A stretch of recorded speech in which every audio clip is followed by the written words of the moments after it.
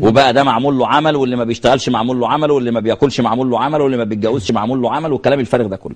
فأنا النهارده يعني عشان ألخص وأطلع بس من الموضوع دوت ها بنقاط محددة. اسمحوا لي أنت والدكتور صلاح إن أنا أسألكم شوية أسئلة. اتفضل. عشان هكذا يجب أن يكون الفكر. نبدأ النقطة الأولانية هل يدخل الجني آه، جسم الإنسان ولا الكلام الفارغ اللي أنا ما بحبش أقوله ده؟ يستحيل. خلينا نمشي. يستحيل خلينا نمشي بكلام الإخوة ال- آه هم يقولون ال- بالدخول. ال- المعالجون والبتاع أفاجئ حضرتك بحاجة دكتور؟ آه. الإخوة اللي إحنا جبناهم للمناظرة ما المره اللي تخليها دي بقى في بعد رمضان. أنا عارف أنت هتقول إيه سيبها لبعد رمضان. لا ما لازم دكتور محمد. ما هو أنا بقى خليها بعد رمضان مش كان في حد جاي؟ لا ما حدش جاي. خلاص ما عادش حد جاي. إحنا زي ما حضرتك قلت ما لا مش في حد كان جاي. الأخ. آه، آه. خليها بعد رمضان. آه. أنتوا نمتوا ولا إيه؟ لا لا معاك. طب طبعا أنا بناشد الأخ وائل على الهوا يفتح تليفونه إن كان غير تليفونه. لا إحنا عايزينه مش عايزينه على الهوا. إحنا عايزينه يجي اهو. ما أنا بقول على الهوا. بعد رمضان. يجي لنا أيوه. بعد رمضان. إن سيبني كان- بس إن كان غير تليفونه اسالكم بس شوية. سيبني أنا اسالكم بقى يعني عشان نخلص يعني. اتفضل. النقطة دي يا دكتور صلاح ركز معايا فيها. لو أن الجن يدخل جسم الإنسان خلاص؟ مم. من إمتى بدأ الحكاية دي؟ من أول الشيخ عمرو ما بقى معالج ولا من عهد آدم؟ من عهد آدم. طب إزاي القرآن ما يعالجهاش؟ هي مش أرجع من تاني. مش من عهد آدم بالنسبة لهم يا دكتور محمد. لا استنى بس. أنا بتكلم منطق. أنا بالنسبة لهم هم. لو إن الجني صحيح. بيدخل جسم الإنسان هيدخل من إمتى؟ من طبيعة شغله. من أول الشيخ إبراهيم ما بقى. الشيخ إبراهيم بيعالج لا. ولا من عهد آدم؟ من بداية شغله. من عهد آدم. من اول من أول الجن ما اشتغل. أيوة. مش كده برضو؟ صحيح. طب كيف لا يعالجها القرآن؟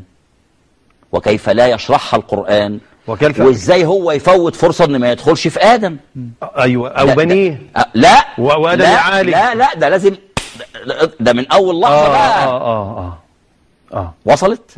يعني كانت تبقى من اول هجيب الذرية كلها وأنا جاي. لا سيبك من الذرية. الذرية سهلة. إنما هو الكبير ده آدم. اللي هتنفلت منه الذرية أو هتنبثق منه ما هو لازم أبدأ من ده. ما هي دي وظيفتي. صح. ما هي دي هتبقى ح... ما هي دي وظيفتي مع الذرية. فأنا لازم أشتغل من أول في آدم أصل الذرية. فكيف لا يعالجها القرآن؟ وكيف لا يقوم بها إبليس؟ وإبليس أنت عارف ما بيأثرش الراجل. يعني إبليس ما بيتأخرش. جميل. ها؟ فماذا فعل إبليس مع آدم؟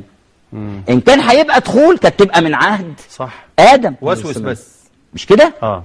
وهو قال إيه؟ نمسك إبليس بقى. سيبك بقى من الشيخ فلان وعلان وترتان الناس المتخلفة عقليا دي. ها؟ ونتكلم على إبليس نفسه قال هعمل إيه؟ ولا أنا ولا أنا أسيب إبليس وآخد كلام ناس عن إبليس؟ ما أنا عندي إبليس. أجيب الأصل. خاصة ان هو صريح. ما ما بيكذبش وما تأخرش والراجل واضح وضوح الشمس في في رابعه النهار. قال إيه بقى؟ قال فبعزتك لأدخلن في أجسادهم أجمعين. قال فبعزتك لأغوينهم لأغوينهم أجمعين. مش كده. قال حاجة تانية؟ ثم لاتها ثم لآتينهم من بين أيديهم ومن خلفهم وعن ها. ولا تجد أكثرهم شاكرين. قال هدخل. لا. طب انت أنت بتدافع عن إبليس يعني؟ ولا أنت بتتكلم عنه معاك توكيل منه؟ بت- بتظهر له وظيفة جديدة. هذه هذه قضية لازم الناس تفكر فيها لأنها لو هي دي الحقيقة كانت تبدأ من آدم. طب أقسم بالله لا أقولها لك. غصب عني معلش بقى. اتفضل. الإخوة اللي تكلموا هنا في عدم الدخول خرجوا بره في الأوضة. اللي دخل ده هم هنا تكلموا في الدخول وبره قالوا قال لا عدم ما الدخول. تخش. ما الأخ مسجل لهم على التليفون أيوة. اللي هم ما يعرفوهوش. الدكتور صلاح آه. قام وتعصب جدا. إحنا ها؟ ظننا إن هو أيوة. هيخرج عن شعوره. أنا سمع سمعوها لي الولاد ان هم مسجلين لهم إن هم قالوا آه. خارج ما هذا هو الكذب. مجرد يعني هو الدكتور صلاح طرح عليه السؤال بلاش طرح. يعني عرض عليه. السؤال أكثر من مرة. بيدخل أو ما- ما بيدخلش. طب نأصل طب نتكلم. هنا قال بيدخل وبره قال ما بيدخلش. بره قال لا ما بيدخلش. طيب دي نقطة. خد بالك يا دكتور صلاح دي نقطة دي نمرة واحد. أخونا بتاع البخاري. هل ممكن ال- هل ممكن القرآن اللي قال ونزلنا عليك الكتاب تبيانا لكل, لكل شيء شيء. يفوت دي وتحصل بقى بعد 14 قرن إنه يدخل؟ يستحيل. يستحيل. الدكتور صلاح شرح لهم الحديث وأنا ما كنتش موجود في الحلقة دي و... وأنا كنت شرح الحديث ده من ثلاث حلقات اللي هي إيه؟ إن الشيطان يجري من ابن آدم مجرى, مجرى الدم. والكلام هنا بيلازم المعنى. صحيح. الكذب بيجري في دمه والقتل بيجري في دمه زي ما بنقولها كده. آه. هو مفيش كذب يعني لو فتحت مش هتلاقي كذب بيجري ولا هتلاقي يعني أنت فاهم؟ ده كلام مجازي.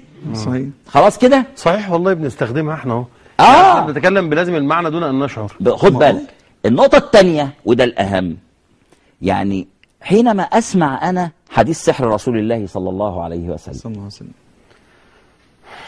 ألاقي الحديث واحد واثنين اتنين عكس واحد وتلاتة عكس واحد واثنين يعني في رواية يقول لك استخرج السحر ورواية يقول لك مرضيش يستخرج السحر.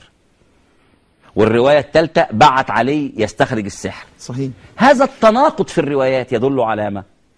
إن في حاجات مش صحيحة فيه. إن ده مدسوس. مم. وإن الدس الهدف.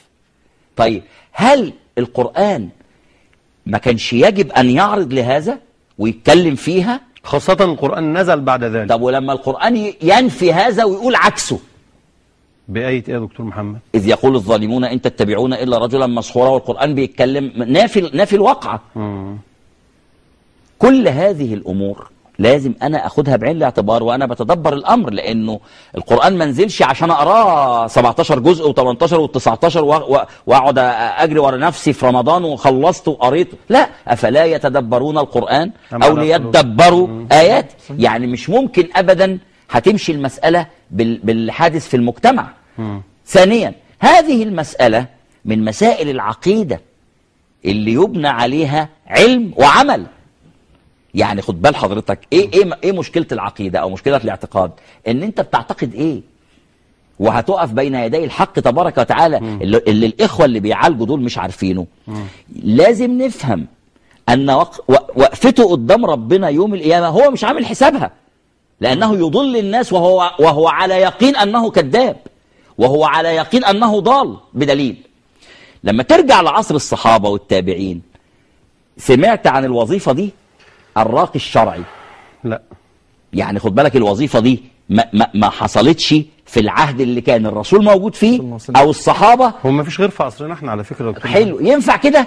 لا. طب لما تسمع حديث في مسلم وأنا جب وأنا جبت لكم الرقمين كنت إن رقمين حديثين نهى رسول الله صلى الله عليه وسلم عن إيه؟ عن الرقى. ولما هو صلى الله عليه وسلم جه يوصف اللي هم السبعين ألف اللي في آه. الذين لا يرقون ولا يسترقون. ولا يسترقون وعلى ربهم إيه يتوكلون. يتوكلون وإحنا قلنا ان إن لو أن القرآن هيبقى له مدلول في الباب يبقى شفاء شفاء مش علاج